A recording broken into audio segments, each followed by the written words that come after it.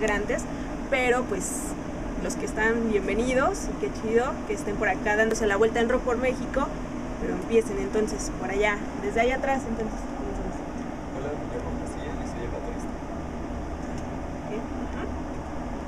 Bueno, yo soy Cilian, soy el vocalista. Hola, yo soy Jorge y soy el bajista. Ok, y entonces ahora nos falta Falta Dos guitarristas, dos guitarristas. guitarristas y un tecladista. Wow, Otros entonces tres. son seis, Somos seis. do- o sea, son en total tres guitarras. Dos. Dos. Lo que pasa es que, bueno, también le comentaba a queridísimo Ali que yo soy a veces el suplente de cualquier guitarra. Entonces, sí, para, por si hace falta, pues yo me lanzo, ¿no? Wow. o sea que está, no sé, mi analogía un poco pambolera, así con la banca que estás ahí.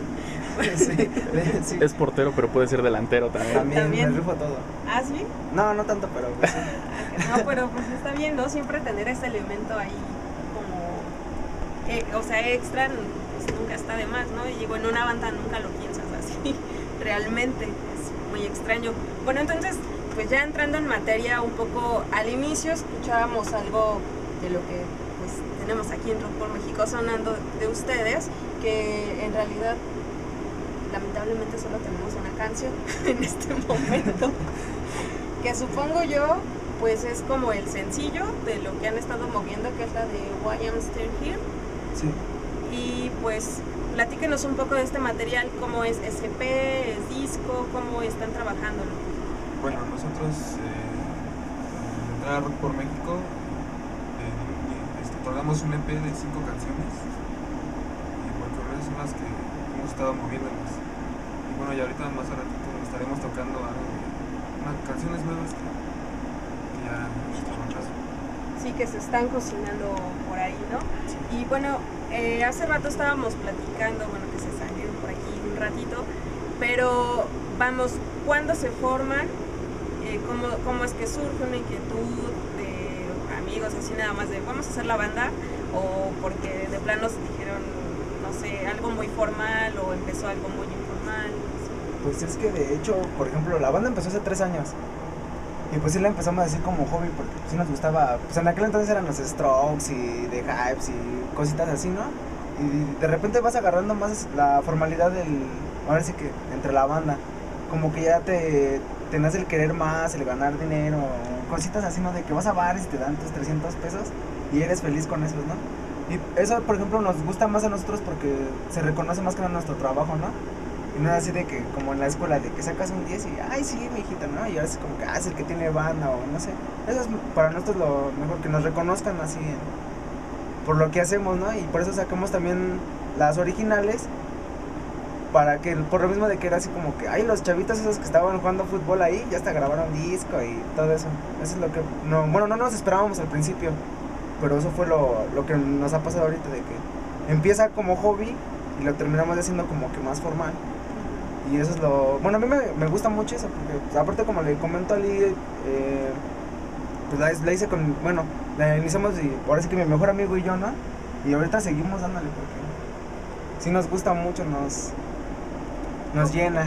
¿Cómo fue esta convocatoria? Bueno, fue entre ustedes dos, eh, surgió la inquietud, lo eh, muchas veces, igual como dices, fue en la escuela, no sé, y te encuentras cartelitos de se solicita, baterista se solicita, tal, o más bien fue como una reunión de amigos, o cómo se formó Lirón. Pues fue planeado y a la vez fue coincidencia porque, bueno, yo fui el primero que, entró a un grupo eh, ya formal y, este, y estaban buscando vocalista.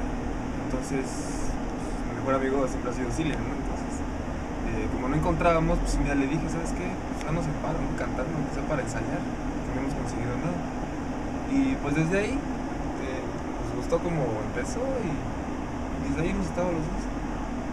Eh, obviamente era una banda que no tiene nada que ver con lo que estamos tocando ahorita, es como, o sea, tocábamos más, un rock más tranquilo, ¿no? O sea, no tan pesado como ahorita.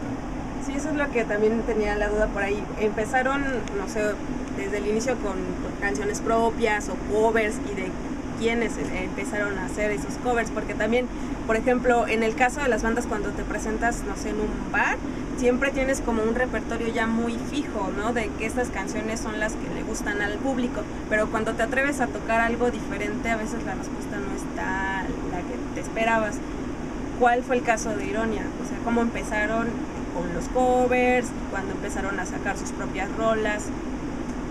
Cuando- Pues de hecho nosotros empezamos a sacar los covers, eh, por ejemplo, en el primer año, ¿no? Un año nos dedicamos a covers porque pues ahora sí que estábamos mocos, ¿no? Por así decirlo.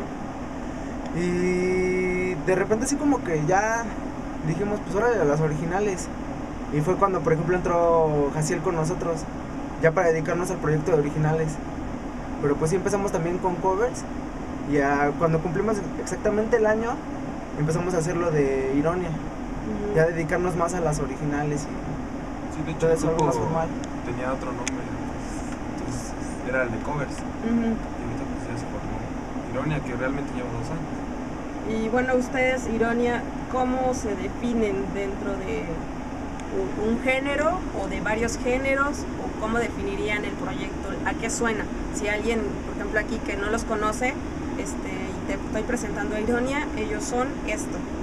¿Cómo los definen? Bueno, nosotros nos consideramos eh, metal. O sea, el objetivo de, la banda es este, pues, que la gente sepa ¿no? que, es, que es un grupo de metal mexicano, o sea, que, le guste y que lo reconozca. Y más que nada es eso, abrir la mente de la gente de que no solamente el metal es muerte, destrucción y el diablo, ¿no?